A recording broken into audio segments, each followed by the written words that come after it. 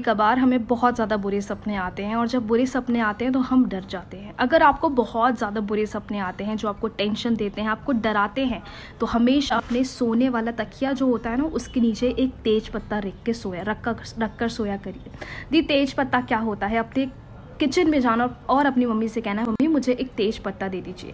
तेज पत्ता को हम बेलीफ भी बोलते हैं। जब आप इस बेलीफ को अपने तकिए के नीचे रख के सोएँगे ना, सारे बुरे सपने, बुरे ख्याल सोते समय ख़त्म हो जाएँगे। ट्राई करके देखिए ट्वेंटी डेज़ तक आप इसको अपने यूरो तकिए के नीचे रखना रिज़ल्ट आपको अपने आप दिखने लग जाएँगे।